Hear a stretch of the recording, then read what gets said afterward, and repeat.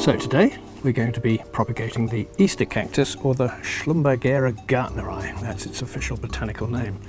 And this is one here. This is a tiny cutting that uh, I took about three weeks ago and you can see this one is already coming on fairly well.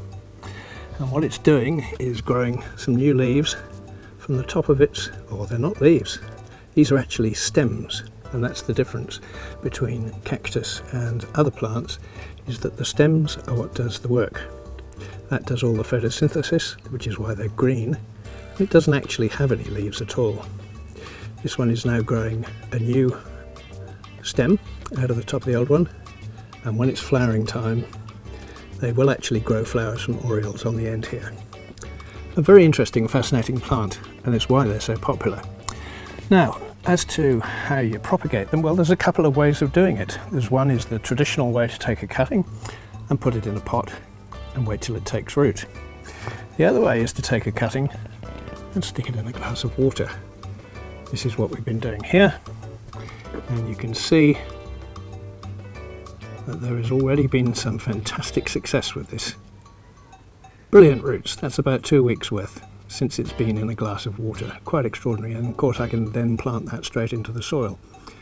But uh, before we do any planting or creating of roots we need to make some cuttings and it's really really important to let them dry off.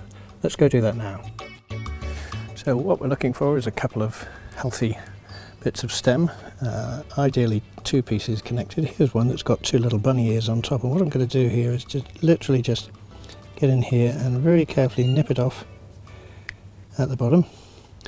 So we've made a nice clean cut there but this is still damp, still wet, um, there's natural sap there and what we've got to be careful is to make sure that that completely heals over. It's called callousing off. So what we're going to do is we're going to lay that um, on a plate on the windowsill for about a week before we plant it.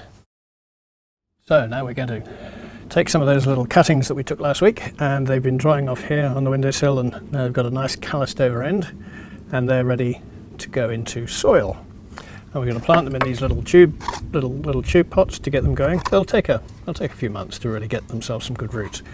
Um, so you don't really need a, a pot much bigger than this. Now, it's really important that you have well draining soil mix to plant them into. So what I've got is some regular potting mix here. I've got some perlite. Now perlite is gardener's best friend. And the reason for using perlite to mix together is this is a heat treated mineral. It's, it's incredibly light.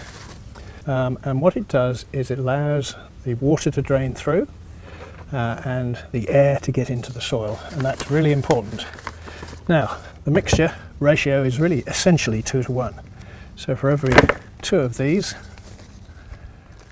I shall want one of these and mix that up together. I should do another two because I need some more for other things I'm going to pot up. a little bit more of this I think just to make sure I've got a full shovel load and then just give it a really good mix through.